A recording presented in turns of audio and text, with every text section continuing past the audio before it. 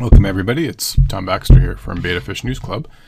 Today, our subject is funny fish. So, we're going to check out some funny fish names. And yes, they're actually real fish names.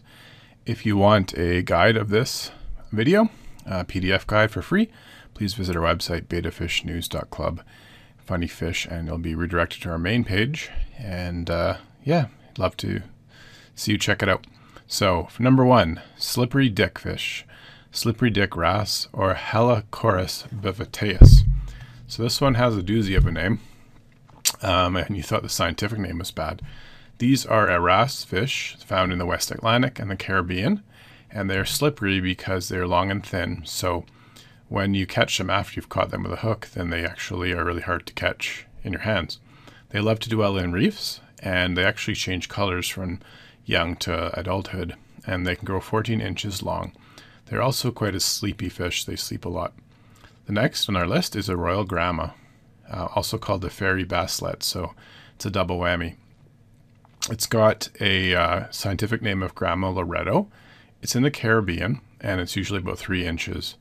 Um, if you can see the name here, the picture here, it's purple and yellow, which with gold uh, tail has black coloring, so that's why they call it the royal gramma. The queen triggerfish is uh, also called the Balistes vetula. It's also called the old wife, but we didn't want to put that on here. Um, it's caught for game. It's also really good to eat the queen triggerfish. In South America, where it hails from, it's actually used in medicinal purposes. The spiny lumpsucker is our next one on our list, and as you can see, it's quite the fish in its outlook too. Um, they're quite a unique fish. They look kind of like a ball with fins and gills, and they actually suck because they have a suction cup on their body to um, attach to different things.